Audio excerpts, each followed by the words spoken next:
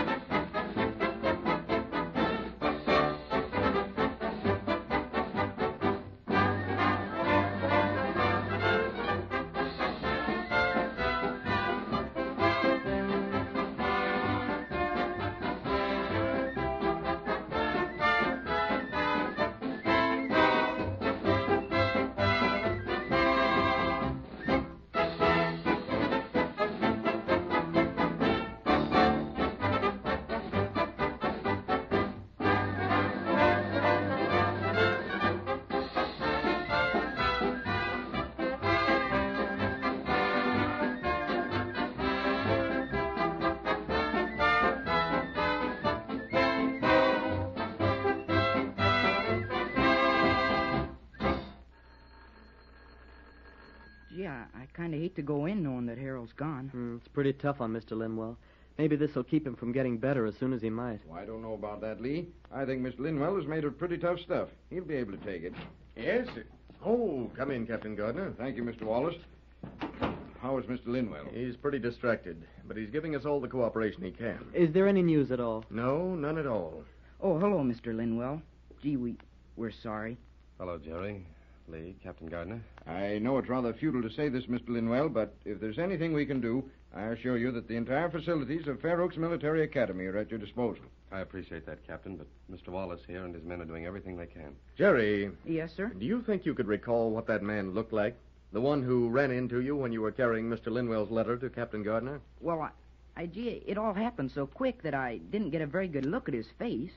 All I know is that he spoke with a funny accent like Yorga. Well, if you should see him again, do you think that you'd be able to recognize him and point him out? I, I think I could do that, sir. I'm sure we could, because when he spoke to us, he, well, he acted sore about being bumped into. I think I got a better look at him than Jerry did, because, well, Jerry was too busy trying to get his balance. Well, what did he look like? Well, he was dark, I'm sure of that. Gray hat, dark eyes, little eyes, like he was always squinting. Yeah, I'm afraid that description could fit a hundred different men. Yeah, but they wouldn't all talk with an accent. Well, that's true, son, but it's little enough to go on. Isn't it about time that your men called here, Mr. Wallace? Well, yes, but we've got to give them time, Linwell. I know exactly how you feel. Well, maybe I should have kept quiet about the whole thing, and Harold wouldn't be. Oh, I think you did a pretty brave thing, Linwell. Yes, and believe me, we appreciate it. Oh, I know that's a pretty weak thing to say, and whatever credit you may get for trying to expose those men who tried to bribe you, it's small pay for what's happened now. How did it happen, Mr. Linwell? Well, Harold and I were having a bite to eat in the kitchen, and, you know, we had a phone put in, and, well, it rang while we were eating. I, I didn't suspect that anything had happened, so I went into the other room and answered it. And I think it was Yorga on the line. Oh, He's got a lot of nerve. I'm afraid he has, Jerry. Uh, then what happened, Mr. Linwell? Well, there isn't much more to tell. He talked to me for at least five minutes, and when I hung up and went back to the kitchen, Harold. Harold was gone. The back door was open. Yorga held you on the line long enough to see to it that his Confederates had plenty of time to get in the back door and take Harold with them. That's right, Mr. Wallace. Pretty clever. Yes, and fairly sure of themselves. Well, we're doing everything we can, but The phone. Uh, shall, shall I answer it, Mr. Wallace, or will you? I'll take it. It's probably the report we've been waiting for. Hello? Yes, Wallace speaking. Oh, Taylor. Yes. Oh, I see. No trace, huh? All right, take plaster impressions of the tire tracks, trace them down, find out who bought the car and where the license is registered. And put out a net and tell Bradley to keep in touch with me at all times. Yes, that's right. I'll see you later. Well, it seems to be that. What's the news? Yorga has flown the coop. Gone as clean as a whistle. Tire tracks lead from his boarding house. I. When do you think you'll hear again? Well, that's hard to say, Mr. Linwell. Of course, I. I hate to be pessimistic about this, but it appears we're up against a very clever bunch. They seem to have had all their lines out well ahead of their actual time of doing the job. Everything was planned to the smallest detail. well, aren't you. I mean, haven't you got men out after them? Of course, Lee. We're Mr. doing everything we can. Of course, we're up against something more than just a clever gang. Heretofore, we've worked against them and them alone. But now, well, You mean Harold, don't you? yes, Linwell, that's what I mean. We've got to think of him. They're holding him as a threat against us. Gee, poor Harold. However, there's.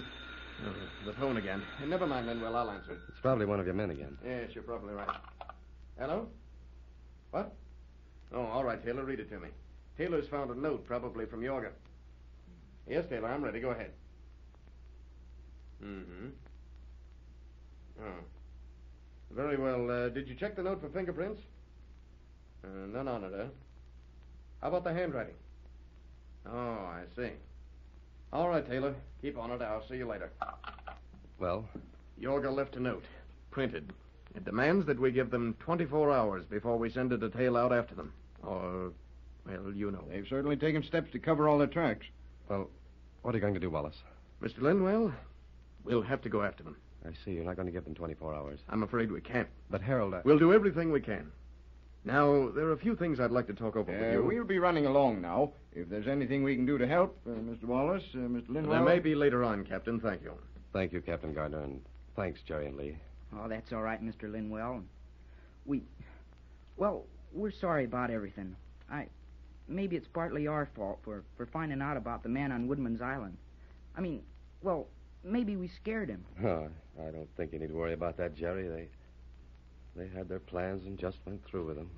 Well, we'll see you later, Mr. Linwell, and we'll keep in touch with you. Thanks, Lee. Well, come on, boys. We're better out of the way. And now, Mr. Linwell, can you remember the exact dates on which these... Oh, gee, I, I feel sorry for Mr. Linwell. Isn't there something we can do, Captain Gardner? Jerry, I'm afraid the whole thing is well out of our hands and into very good ones. Mr. Wallace seems to know what he's doing. Yeah, I know that, sir, but well, Lee and I, we feel close to Harold, and it's kind of, well, getting on our nerves just waiting without being able to do anything at all. It, it makes me feel helpless. Well, I'm afraid we're just going to have to wait, regardless of how we feel. Hop in the wagon, boys. Thank you, sir.